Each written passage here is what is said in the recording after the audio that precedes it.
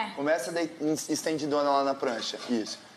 Aí você tira a palma da mão do chão, volta a palma Não da mão do desce chão. em mim, parada, Riquelme não E sobe. Encosta de novo e sobe.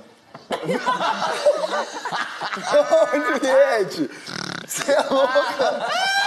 Caralho, essa menina é maluca!